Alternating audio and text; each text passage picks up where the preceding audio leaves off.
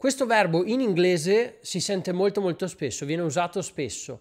Eh, invece il corrispettivo in italiano secondo me viene usato un po' meno, almeno da me viene usato molto molto meno. Il verbo in italiano è prosperare, prosperare. Allora sì, certo, si usa, è una parola italiana, quello che volete. Ci sarà la gente che lo usa tutti i giorni, ci sarà chi lo usa una volta a settimana, io lo userò una volta all'anno, ok? In inglese si dice to thrive, to thrive thrive, thrive, thrive, thrive, thrive. to thrive. Democracy cannot thrive in such a place. La democrazia non può prosperare in un posto del genere. Quello del such a place, quello del such è un altro video, magari lo faccio dopo. It requires perfect conditions to thrive.